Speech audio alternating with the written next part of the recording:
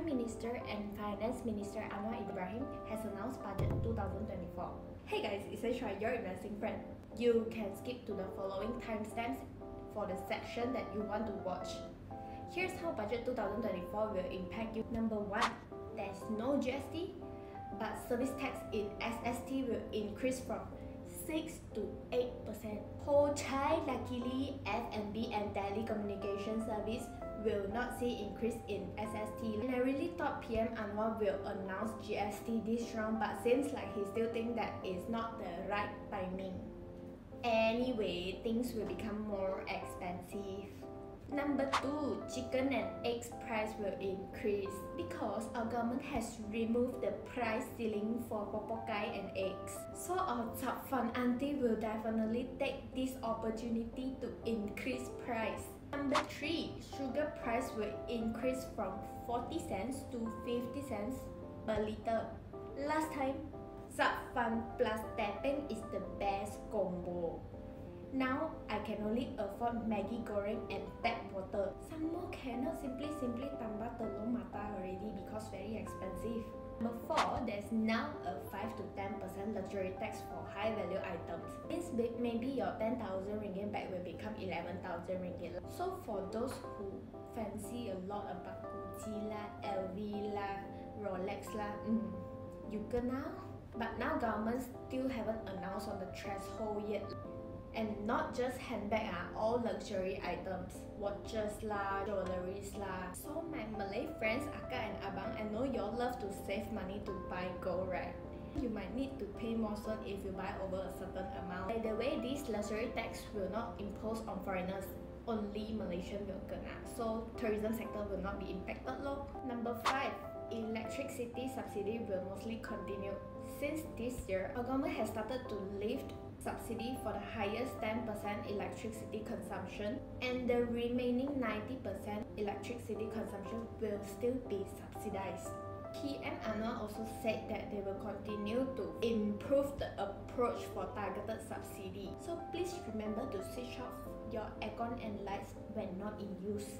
Number 6 petrol subsidy will continue but not for diesel. Our government didn't mention about RON 95 petrol subsidy at all in budget 2024. But if you use diesel, government will slowly increase the price of diesel in stages. Most of our subsidized diesel is stolen to other countries because our petrol and diesel prices is very low compared to our neighboring countries. Number 7. Clean and usable toilets. We all know how bad our Malaysian toilets are. Lah. Anwar said repair work for the toilet in all 8,354 schools will be completed this year. So if your school toilet still broken, kindly comment below. And 150 million ringgit will be allocated in 2024 to repair public toilet in Malaysia. 8 2,400 ringgit rebate if you buy electric motor. But this is only applicable if your annual income is less than 120,000 ringgit. You can also get income tax relief of up to 2,500 ringgit for EV charging facilities up to 4 years. Time to change car and motor. The 9 10% discount on PTPTN loan from 14th of October 2023 to 31st of March 2024 if you fully settle or at least settle 50% in one single payment and 15% discount if you pay by salary deduction. Number 10. Prime Minister Anwar Ibrahim just made a huge mistake in introducing this flexible EPF account in budget 2024. Once EPF account 3 is introduced, EPF members can access account 3 at any time with no restriction.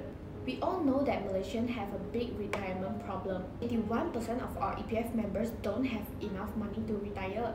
Now that account 3 can be withdrawn anytime, many people will move their money from account 1 and 2 to this flexible account, which EPF say it is possible. I know this is to encourage more Malaysians that are working in the gig economy like food panda drivers, grab drivers or businessmen to open account because now only 60% of working Malaysians have an EPF account, but many other EPF members will take advantage of this to withdraw their money from EPF account. I don't know if it is a really good idea. I still hope that they don't allow people working in the formal sector to open this flexible EPF account easily. Or or even if they allow, maybe just allow less than 10% withdrawal from account 2 to this flexible account. By the way, if you like my sharing, please like, share and follow, okay? This will help me a lot. So how budget 2024 will impact our economy? NETR and NIMP 2030. These two plans have a very simple goal. NETR aims to attract foreign direct investments. NIMP 2030 aims to encourage domestic direct investment after FDI comes in. End goal is to develop high growth, high value industries in Malaysia and improve Malaysians' income. Budget 2024 is very important so that we can see where money is flowing into. Number 1. PIPC has been selected to turn into a development hub for the chemical and petrochemical sector government will give special tax rates or investment tax allowance to support companies there. Number two, Kerian North Perak has been selected to be the next new high-tech industrial area in the E&E sector. This is the third high-tech industrial park in Malaysia after Bayan Lepas Penang and Kulim Kedah. With this, the whole North Malaysia will have a complete supply chain for E&E and become the Silicon Valley in Malaysia. The 3 billions prepared for startup founders to start the next big thing in these few industries. Number 4. Investment to become leader of global Islamic economy. Malaysia has a very great potential. This is a low-hanging fruit and Malaysia should have been more aggressive in Islamic economy. We used to be the top leader but now other Islamic economy has caught up to us. Here are the initiatives to push Malaysia back to the later position. Number 5, over 50 billion ringgit of initiatives to help middle, small and micro entrepreneurs. If you are a tauke, now it is the time for you to take advantage of these initiatives. Number 6, billions to turn Malaysians into high-skilled workers. I think we all know that Malaysian education sector is not very good this is also why our salary is so low, mainly because what we learn in our school is not what our employers want. So government has allocated billions and many incentives to upgrade our workforce, especially on TVET education and training. Number 7. Visit Malaysia year to boost tourism. Tourism is a very very important source of income but it is not promoted properly. Don't forget that tourism is also the main source of our ringgit strength. Next, how budget 2024 will impact investors. First thing first, no capital gain tax for listed shares. Only unlisted shares will have 10% capital gain tax. But there are still very limited info on how they are going to implement this. Like how to calculate the capital gain or is it I set up this company for 10,000 ringgit and then I sell it off 10 years later for 100,000 ringgit. Then I need to pay 10% on the 90,000 ringgit gain. What if when I sell but I receive it in land or shares? Still need to pay capital gain tax in cash? More details are needed on this to provide clarity or else it doesn't seem like a good policy and might deter M&A activities in the private sector. Next, I will also share companies that will benefit from budget 2024 companies that will benefit from the removal of price ceiling of papakai and eggs subsidy for diesel will increase transportation costs for logistic companies companies that have centralized hub with local supply chain. Revival of big projects like LRT3 and Penang LRT.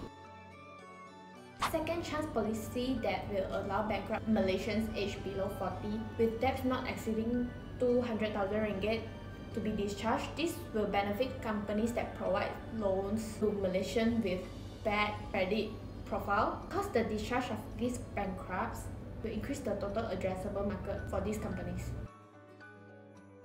Our government is also very gung-ho about digitalizing the government sector and the national digital identity system will be restarted after delay. Our government has also allocated 150 million ringgit to maintain street lights and replace them with LED 50 million ringgit to upgrade existing 30 traffic lights to smart traffic light system. Allocation to Sabah and Sarawak has also increased a lot. There are also many big projects like Sarawak-Sabah Link Road and Pan-Borneo-Sabah Highways projects totaling 23 billion ringgit. So some companies in Sabah and Sarawak for you to focus on are digitalization of government and MSMEs will also bring new wave of spending in upgrading ICT infrastructure. This will benefit companies that distribute this software and hardware. Companies that have business in Kerian Perak, the third high-tech industrial park for E&E in Malaysia. My thoughts on budget 2024. To be very honest to you, it's not very impressive because we all know what problems Malaysians are facing. Number one, we spend more than we earn. Number two, we are stuck in the middle income trap. Number three, we have huge retirement problem. So the way forward is to focus on increasing growth while cutting costs. But this is a very very hard game to play and require our leader to take huge and bold steps. But in budget 2024, all we see is baby steps. Anyway, let's talk about what I like about Budget 2024. Number one, NIMP and NETR are great plans to push Malaysia forward. To solve our middle income trap problems, Malaysia needs to grow faster than our expenditure. And NIMP and NETR can help to do that by aligning our country into global supply chain and improve Malaysia's productivity. Indirectly, it will also help to increase Malaysia's tax income. Good. Number two, allocation for education ministry has increased. NIMP and NETR will push Malaysia forward into a new economy with focus on technology. But Malaysian workers are not ready to take on this high skill job yet. Hopefully, our education and HR minister can utilize this money properly and steer our country into the right direction, creating the right environment for world-class training and learning. Because with the right people, Malaysia can move forward. Now let's talk about what I don't like about budget 2024. Number one, there's no real reform in petrol subsidy. Prime Minister Anwar is just scratching the surface by stopping subsidy for diesel, which helped to save roughly 4.5 billion ringgit. Remember our total subsidy in 2023 is 81 billion ringgit. Minister Rafizi said that our government is developing the central database hub system to calculate targeted fuel subsidy for everyone and it will only be ready in the first quarter of 2024. But time is ticking. We don't have much time left. Number two, no GST introduced. GST is a better tax collection system than SST. Even after increasing servicing tax in SST, I doubt it would be better than implementing GST. Because GST can reduce tax leakage and corruption significantly, every year GST will bring in 25 billion ringgit extra revenue to the government and most of our neighboring countries has been implementing GST since 1990s so there's no reason why we cannot. Number 3. Worsening retirement problem the introduction of EPF accounting really need to be implemented very carefully to avoid another round of mass withdrawal. We cannot afford that anymore. Someone that's that's very bad for other EPF members than me. Number four, what he says is not what he do. PM Anwar still cannot run away from Malaysian politician bad habit giving handouts. Civil servants and pensioners will get 1000 to 2000 ringgit cash handouts our country is now in deficit, meaning these cash handouts are given using borrowed money. Is this a sustainable way moving forward? Anyway, these are my thoughts for budget 2024. What do you think? Let me know in the comment section.